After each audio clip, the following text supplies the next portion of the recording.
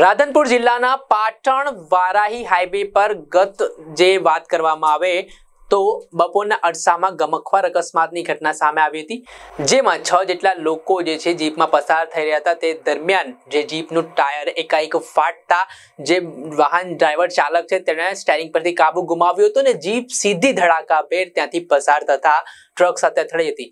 જેમાં છ લોકોના કમકમાટી ભર્યા, મૃત્યુ નિપજ્યા હતા અને અનેક લોકોને સારવાર અર્થે હોસ્પિટલ પણ ખસેડવામાં આવ્યા હતા. તે વચ્ચે હાલ એક વીડિયો જે છે વાયરલ થઈ રહ્યો છે, જેમાં ત્યાંના એક સ્થાનિક જે દાદા છે તે આકરા પાણીએ જોવા મળી રહ્યા છે. જે આપ દ્રશ્યમાં જોઈ શકો છો કેવી રીતે તેમણે પોલીસ માટે જે ચેકિંગ માટે જે પોલીસ ઊભી હોય છે કે પછી હોમગાર્ડના જવાનો ઊભા છે, તેમની સામે પણ હૈયા વરાટ ઠાલવી છે. જોઈશું આ વિડીયોમાં.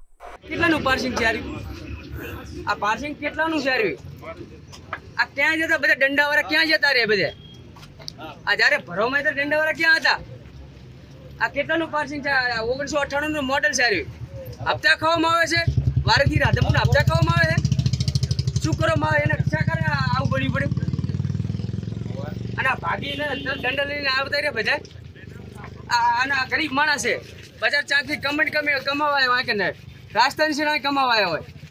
જેવી રીતે જોયું કે આપણે જે આ અવારનવાર અકસ્માતની ઘટના આ હાઈવે ઉપર બનતી હોય તેવું આ જે દાદા છે તેમના દ્વારા જણાવવામાં આવી રહ્યું છે અને કહેવામાં આવ્યું છે કે પોલીસના જે કર્મચારીઓ છે તેમને હફતા ખાવામાં રસ હોય તેવું દેખાઈ રહ્યું છે અને આ ઘટના જે છે બની છે તેમાં જે નિર્દોષોના જીવ ગયા છે તેના માટે તેમને પણ જવાબદાર જે પોલીસના જવાનો છે તેમને ગણાવી રહ્યા છે આ પ્રકારની ઘટના જે ગમખવાર અકસ્માત સર્જાયો છે તો કેટલાક લોકોએ પોતાના વહાલા દીકરા, તો કેટલાક લોકોએ પોતાના માતા, પિતા અનેક જે છે પરિવારનો માળો વિખેરાયો હોય તે પ્રકારની સ્થિતિનું નિર્માણ થયું છે અને આખું હાઈવે જે છે મરણ ચીસોથી ગત રોજ ગુંજી ગુંજી ઉઠ્યું હતું.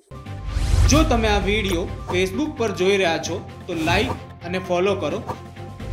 અને યુટ્યુબ પર જોઈ રહ્યા છો, તો અમારી ચેનલને સબસ્ક્રાઈબ કરો. સત્તરે ડોટ કોમ આઝાદી સમાચારોની.